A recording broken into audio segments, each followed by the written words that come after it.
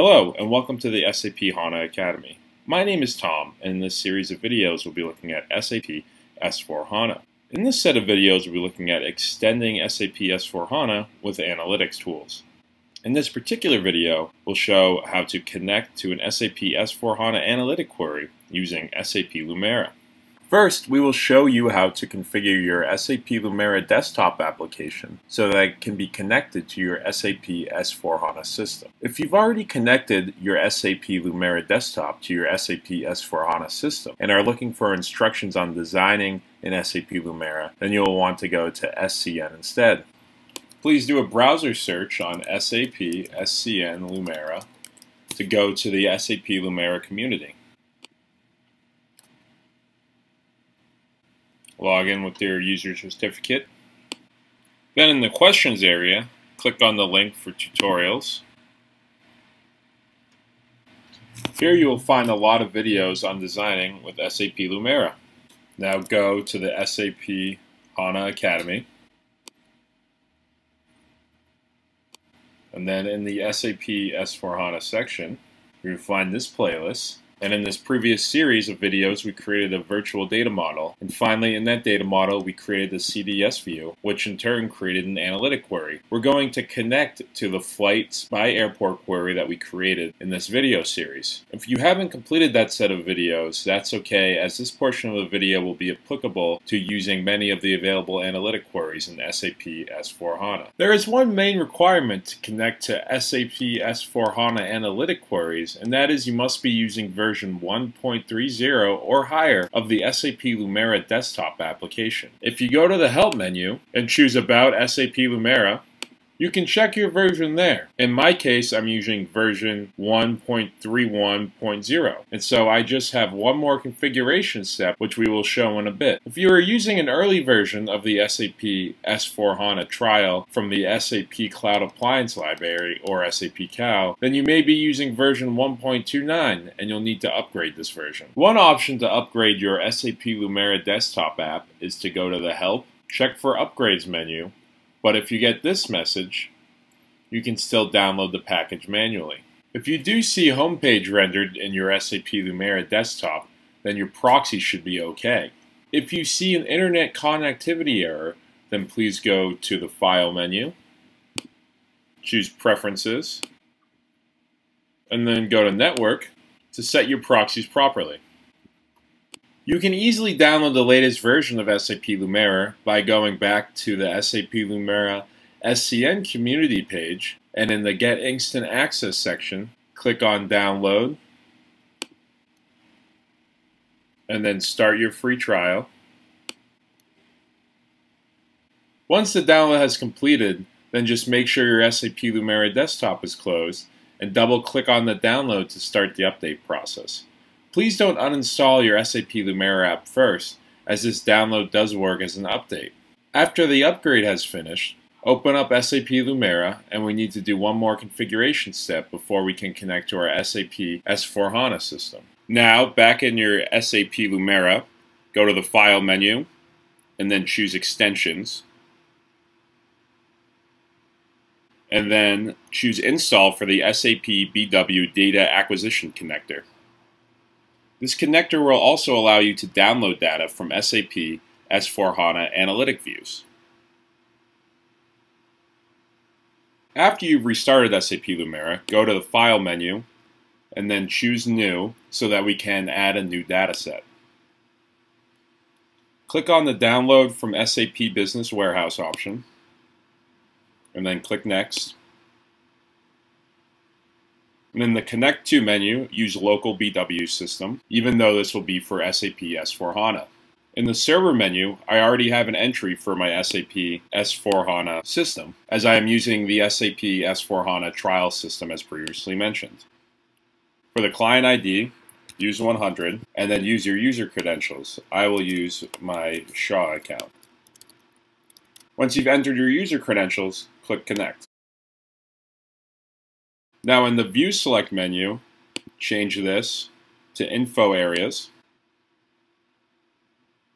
And we see folders that are broken down into various business areas.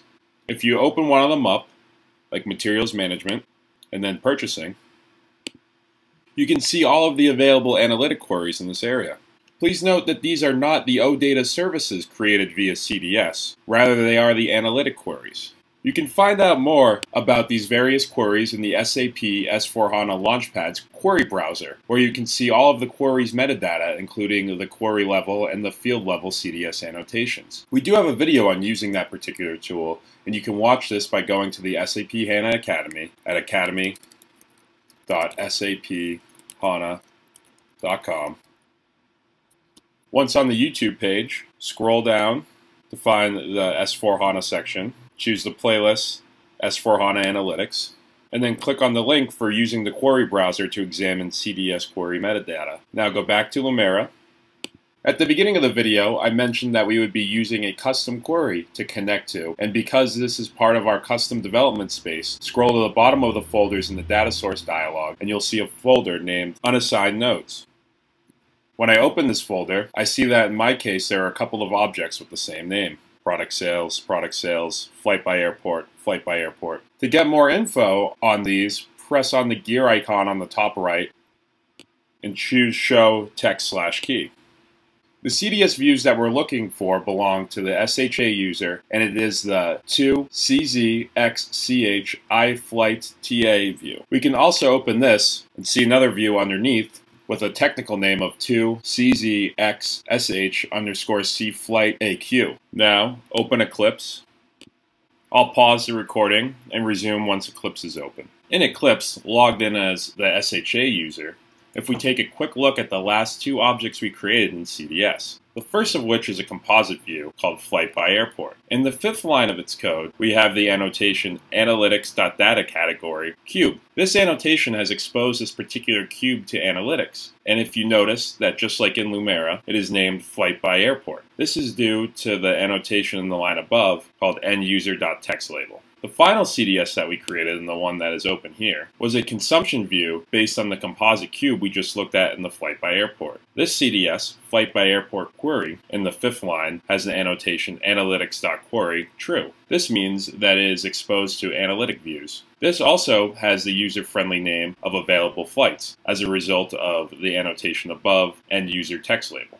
If we go back to the data connector in SAP Lumira, we can also see that the structure of the available flights analytic query is based on the flight by airport cube. You can use either of these objects to design your SAP Lumira visualization, but we'll choose the available flights analytic query as it was the final object that had our selection filter. Select the available flights analytic query and then press next. Please note that we have two prompts resulting from the filters that have been defined in our CDS consumption view, one for departure airport and one for arrival airport. The one for departure airport is mandatory, and because it is a required variable, we will choose FRA for Frankfurt Airport, and then press OK.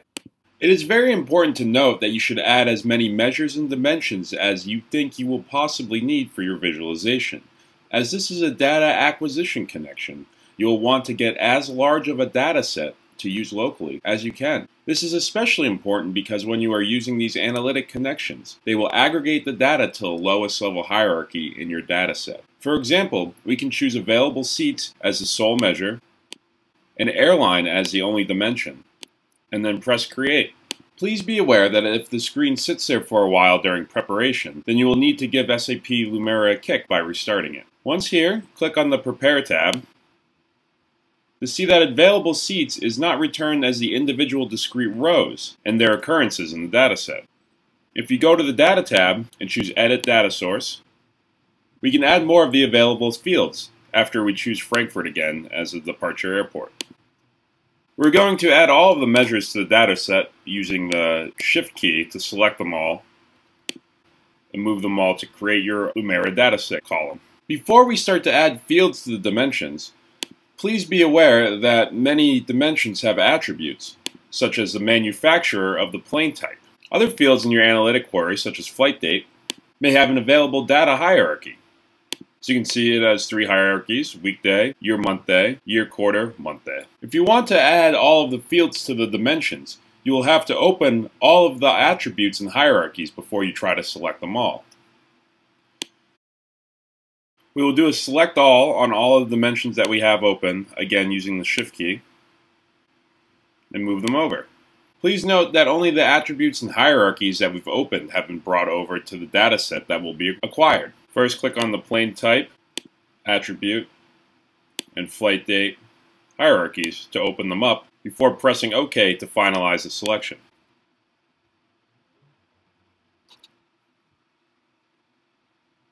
Note that now, in the Prepare view, the distinct values in the available seats will be sums based on the new dimensionality. This concludes the steps on connecting SAP Business Objects Lumira to a SAP S4HANA Analytic Query. Again, as mentioned previously, please see the SAP Lumira tutorial page on SCN for numerous videos on designing data visualizations in SAP Business Objects Lumira.